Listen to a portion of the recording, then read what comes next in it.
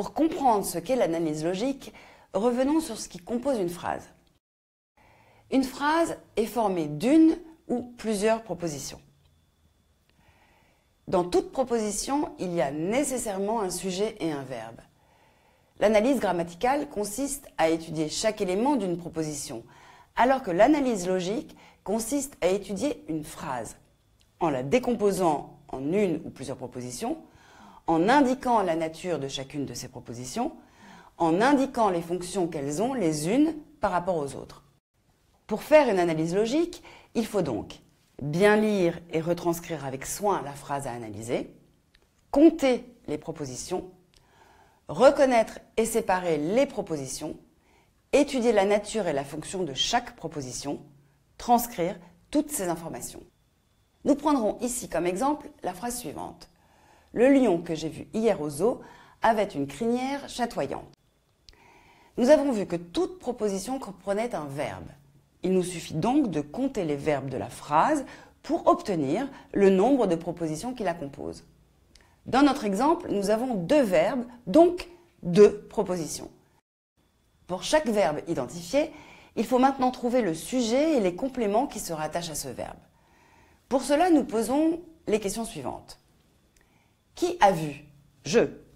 J'ai vu quoi Que se rapporte à Lyon. Où Au zoo. Quand Hier. Donc, ma première proposition est que j'ai vu hier au zoo. Continuons avec le verbe avait. Qui avait Le lion. Avec quoi Une crinière chatoyante. Ma deuxième proposition est donc le lion avait une crinière chatoyante. Il existe deux natures de propositions.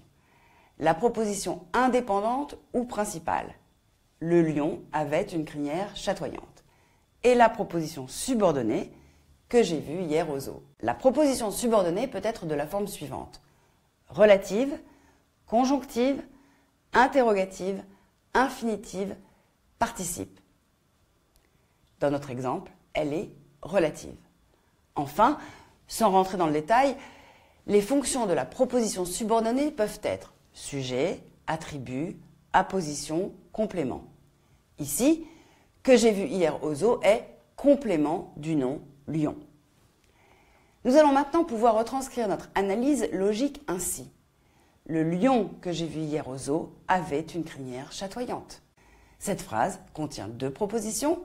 La première, le lion avait une crinière chatoyante est une proposition principale. La deuxième, que j'ai vue hier au zoo, est une proposition subordonnée relative, complément déterminatif de lion.